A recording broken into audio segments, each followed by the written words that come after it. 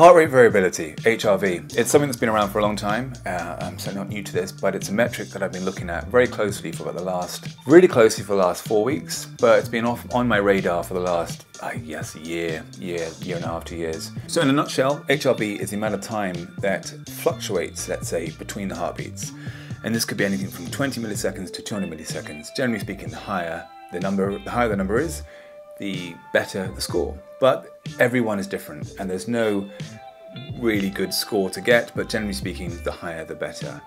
A low score can be indicative of a number of different things. Uh, generally speaking, it's from a stress, from whether it's emotional stress, anxiety, physical, a lack of recovery, poor diet, poor sleep. There are a number of different things that can affect your HRV, your heart rate variability. But generally, if you have, generally speaking, if you've got a watch like a Garmin or an Apple, those will be able to pick up those metrics. So therefore, that score will be personal to you. So therefore, you can use that as a consistent sort of baseline to see if that changes up and down.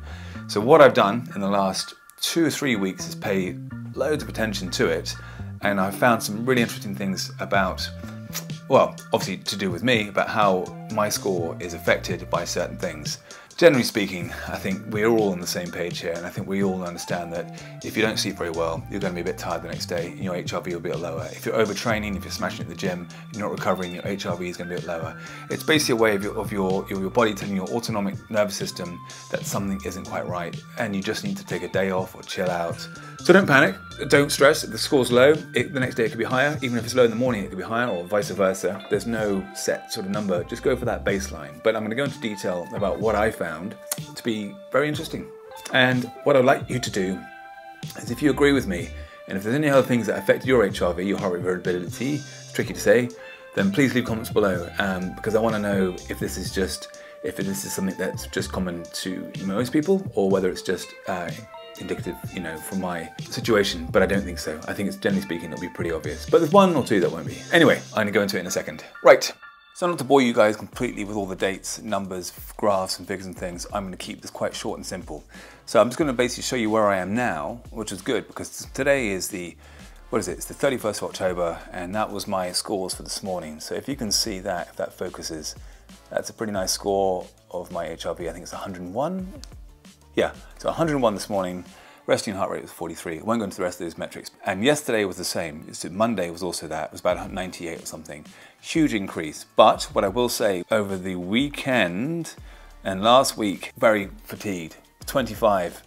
So I think that is, that's 25 there on the Sunday.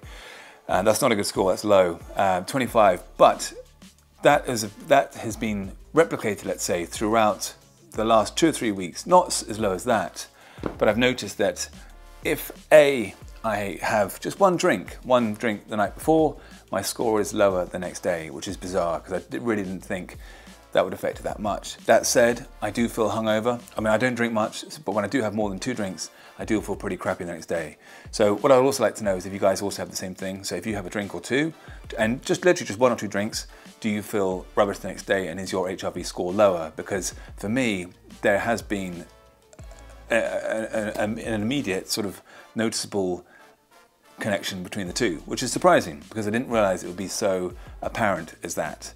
So I guess the first sort of thing that I've noticed, so if you're looking to increase your HRV, maybe cut out the drinking. Uh, and again, I don't drink much. I probably only have a couple drinks a week um, on the weekend. And, but I must admit, on the weekend I had other stuff going on. It was pretty hectic, pretty stressful. Lots of other bits and bobs in my head was going on. So there's lots of other factors. So that's the hard sort of irony about trying to control this HRV thing, the heart rate variability, is because there's so many variables that can affect it. But I did say, I did notice, sorry, that it was pretty obvious that a drink would affect it. The other big thing that I noticed was when I trained in more of a fasted state or a less fed state because it was half term, I was at home, I had lots of kid stuff to do. So I had two weeks which I did a lot more training um, in a less fed state. I noticed that that did also lower my HRV. So again, the alcohol, let's say, the training in the fasted state, all these things are a stress to the body and they're going to sort of stress the parasympathetic nervous system. Um, and just, yeah, just going to cause just a few issues in the background. So again, leave comments below if you've also found that similar because I'm just keen to hear feedback from you guys if that's affected your score. Okay, so the other thing that I also noticed might have an impact on the HRV score was obviously the intensity of training. Again, over half term, the two weeks, I didn't have much time to go out on the long, slow runs, so my training was, I suppose, more frequent but more intense. So shorter but more intense. Now I think that will obviously have an impact on your HRV because you probably A, haven't got much time to recover, but also B, it's harder, harder efforts. So instead of going for more of an 80-20 approach of the week where 80% is, 80% is easy and 20% hard, I was going for 50-50, or maybe more, I don't know what it was, but it was just, you're just, you're just taking what you can.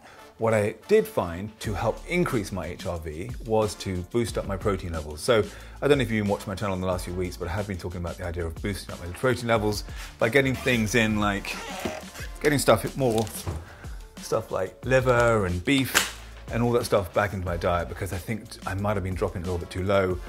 And when I did, I did notice a big increase in my HRV score. I think by getting the protein in, you're going to get more minerals, zinc, magnesium, selenium, all those more minerals in your body which could help to decrease stress, increase recovery, just make you feel better, get the neurotransmitters in your brain firing up more, and just increase overall health. In turn, going to increase your HRV score, which for me in the last three or four weeks it has. Please leave comments below if you found something similar where you've boosted up your protein and that has helped your HRV score, or just even generally whether that just made you feel better. So now is there anything we can do apart from sleep, nutrition, diet, keeping track of exercise, etc., keeping stress levels down to help increase HRV? I have heard down on the grapevine that there are a few little tricks. One of them is this, what I'm doing right now. So I'm currently standing outside, barefoot, on the grass, and this is basically essentially called grounding or earthing. And this is supposed to help to reduce inflammation in the body, reduce, to, to help sort of de-ionize neg negativity. I'm not quite sure the full benefits, but it's supposed to help you within, down to a cellular level, to ground yourself to the earth, and in turn, to help boost up your HRV. Now, personally, I've got no clue about this really, so I'm gonna put it out there. If you guys, if anyone's had any experience with grounding, earthing, and you've had any huge benefits, then please let me know in the comments below because I do like the idea of it, and it does make sense in many ways. And I have spoken it briefly before a few years, well, a year ago or so, um, and it does feel nice just to get your feet in nature on the ground. And I suppose human beings are the only creatures out there that actually wear that actually wear shoes. Dogs, cats, leopards, squirrels, whatever it is, they're all connected to the ground, whereas we are generally stacked up in some sort of heel, some sort of rubber, some sort of insulation. So I can see why there is some truth or some apparent uh, explanation of how grounding and earthing could work. But anyway, try it. Feels good. Okay, right, back indoors. Okay, so apart from grounding, other things that basically can, other things that can help are things like breathing. Obviously, you've got like Wim Hof techniques or just box breathing, that in for four, hold four, out four, hold four.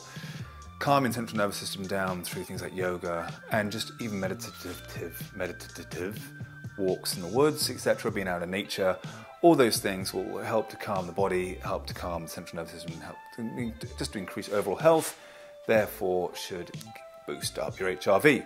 So I think, in summary, things for me that affects it, too intense training too frequently, lack of recovery obviously, drinking, alcohol, toxins, obviously the, the normal three, you know, stress, lack of sleep, etc., poor diet, um, lacks, lacking of certain minerals maybe within the diet too, these are all the things that I guess just affect your health. Therefore, they will affect your HRV. But I didn't realize how quickly and apparent and how succinctly it uh, it seems to take effect. All I have to say now is thanks very much for watching. If you haven't already, please do click that like and subscribe button. Uh, please let me know below as well if you guys have had similar things with with when you've changed your diet or changed your exercise or, or, or traveled more or been more stressed with X, Y, or Z whether this has had an immediate impact on your HRV, and also whether you guys have any sort of novel ways to boost HRV, because I'm always open to more intuitive, imaginative ideas to just relax and increase your HRV.